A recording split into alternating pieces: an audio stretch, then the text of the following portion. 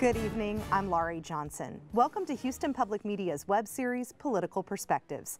Every week, I'll be joined by show commentators Jay Aiyer and Brandon Rottinghaus to discuss all things political. Tonight, we'll continue the conversation from Red, White, and Blue with Senator Rodney Ellis. So let's get started, Jay and Brandon. Uh, first of all, we want to talk mainly about the fact that Senator Ellis is running for Harris County Commissioner's Court. He is trying to get the Democratic nomination for Precinct 1. We've already heard from Gene Locke, who is currently serving in that role and is also trying to get that nomination. So, uh, you know, kind of what's what's the tension going on there in that race right now? so the mechanics of that campaign are, are, are really unusual. Um, this is not a Democratic primary. It's not a special election.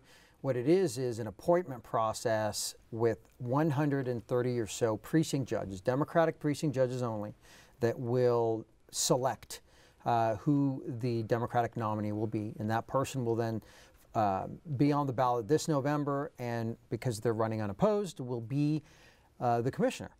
Um, and so that's really what the race is about. It's about a constituency of 130 Democratic activists, uh, Democratic precinct judges, um, and they have a choice between uh, Gene Locke, who's appointed, and um, and and, and long-term serve, long-time serving uh, State Senator Rodney Ellis, who, in full disclosure, uh, is uh, was my former boss many moons ago, and I got my start in uh, in politics and policy uh, and the study of it from from him.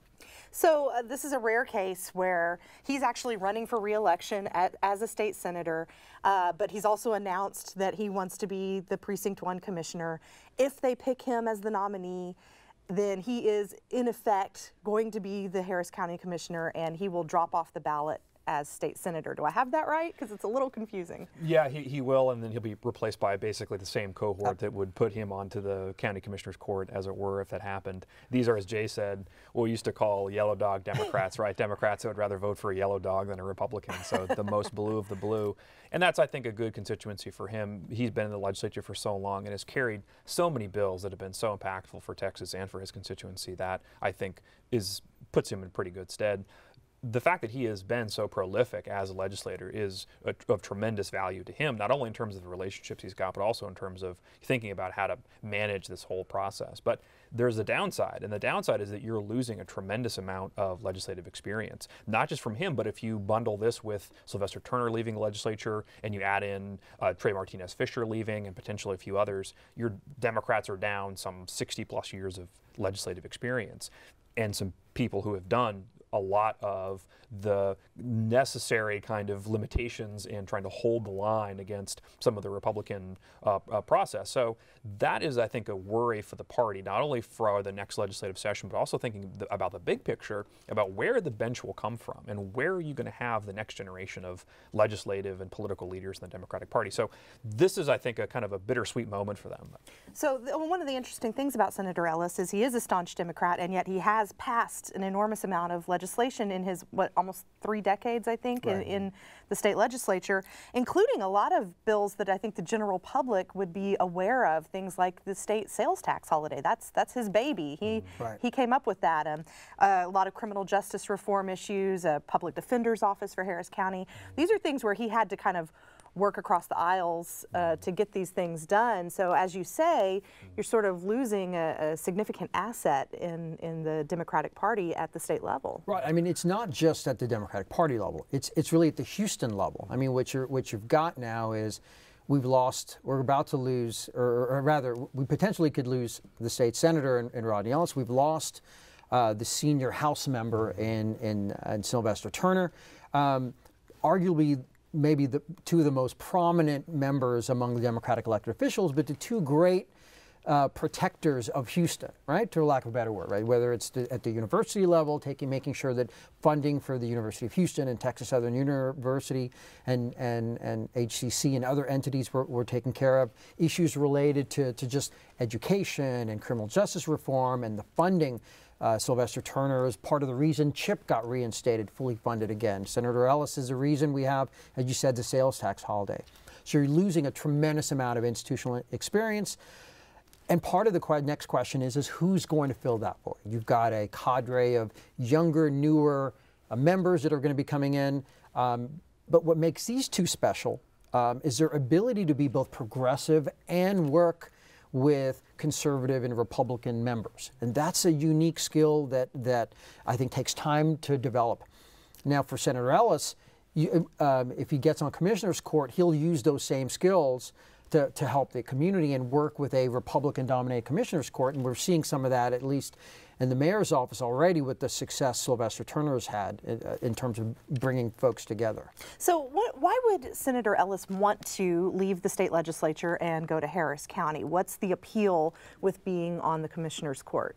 Yeah, I think like Jay said, I mean, there's a tremendous amount of good work that can be done. And to be honest, a lot of the work is this ground level work. This is Harris County work. This is dealing with issues like mental health, dealing with issues like crime. This isn't a criminal justice agenda. This is criminal justice. And there's a difference between those two things. You throw in the fact that you've got the potential to be able to help the city overcome problems of flooding like we've seen the last couple of weeks and the, just a myriad of things that the county can do to help the citizens of the county, but also to work with the city it's a good choice. You want somebody, you need somebody who's going to be able to do the work of working within the council, and you've got diverges there in terms of the politics, and so you need to have somebody who knows how to reach across the aisle. But you also have somebody who can deal with both government above and below you, right? So city, you know, down, and you've got to go up to state. So somebody who is able to negotiate across this is going to be important. So the job is really, I think, one of those jobs where, in some ways, although it's you know rank them as such, but you've got a lot more potential there. So the kind of things things that are have to, going to have to get done, like I'll just throw out it again, the Astrodome, right, has got to get done.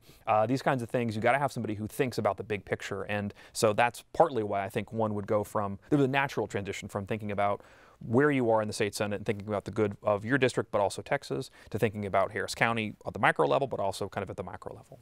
So the interesting thing about Harris County Commissioners Court is it's a very small governing body for a massive populated yeah. area. You've got four precincts, and then a Harris County judge presiding. So five people altogether voting for an enormous landmass millions and millions of dollars of tax money yeah. coming in, and hardly anybody knows what they do or what's going on. Yeah. There, not a whole lot of attention gets paid yeah. to Harris County.